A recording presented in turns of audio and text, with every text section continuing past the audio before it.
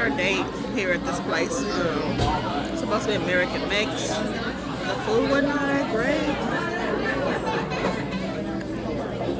He didn't even eat his food. Like,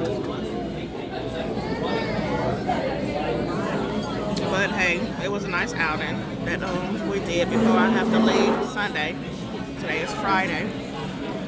Just a little quick something, but it was cool. We needed this. Check it out later.